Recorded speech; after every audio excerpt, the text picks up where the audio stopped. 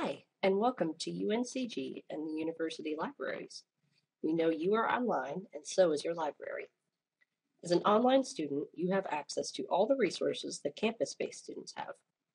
Over 75% of the library's resources are devoted to electronic materials, including article databases, ebooks, streaming video and music, and more. Don't know where to start? The library has research guides for every subject we teach at UNCG, created by librarian subject specialists. These guides contain links to many of our electronic resources, as well as a place to chat with librarian subject specialists, tutorials, videos, citation help, and tips on searching. Speaking of tutorials, you can directly access all tutorials from the library homepage. Just look in the drop-down menu labeled Services. There are tutorials on using specific databases such as ERIC or PsycInfo, as well as short how-to videos that show you how to fill out an interlibrary loan request or how to use the library catalog. PATH, our 10-module research tutorial, will help guide you in the basic research process. Use the menu on the left to see the different modules. You can jump to a specific module or go through the whole thing. You can also log in if you want to save your progress. Looking for journal articles? The best way to find and access journal articles is to use one of the library's databases. Use the research guides to find the databases recommended for your topic, or you can go right to our database page. Databases allow you to search many academic journals at once, and you can find a lot of full-text articles online. We have access to hundreds of databases, and almost 95% of our journals are available online and can be accessed from home.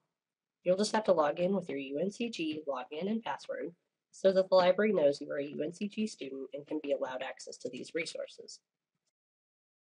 While searching a database, if you find an article you like that's only available in print, you can submit a request through the Interlibrary Loan Request form and be emailed a copy of the article.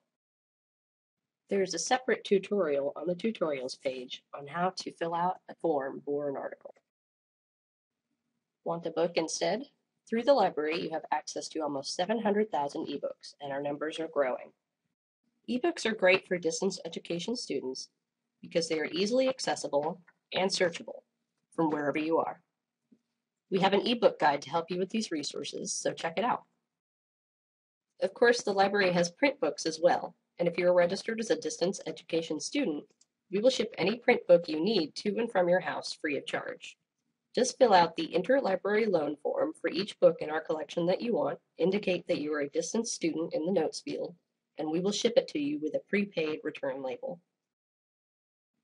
The library is more than books and articles. We also offer many digitized materials from our archives and special collections, along with research guides and finding aids specialized for those materials. And of course, if you need help, you can contact a librarian at any time. We are here and happy to assist you when and where you need it.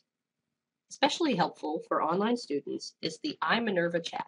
Click Chat with a Librarian on the library homepage to chat, or you can see lots of other ways to contact the library.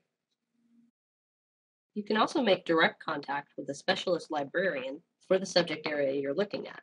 Those research guides by subject mentioned earlier will provide their contact information.